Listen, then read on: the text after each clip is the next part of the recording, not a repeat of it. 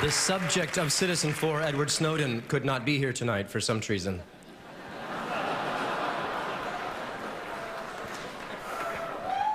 And now, to counterbalance that celebration of truth telling and honesty in film, please enjoy the next few minutes of commercials.